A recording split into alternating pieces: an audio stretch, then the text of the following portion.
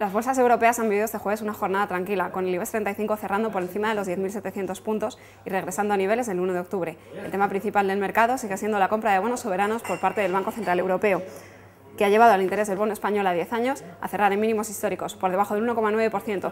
También la deuda de Francia, Italia y Alemania ha cerrado en niveles récord. Desde Capital Economics ven claro que el Banco Central Europeo se embarcará pronto en un programa de compra de activos, incorporando compras de deuda, de deuda soberana.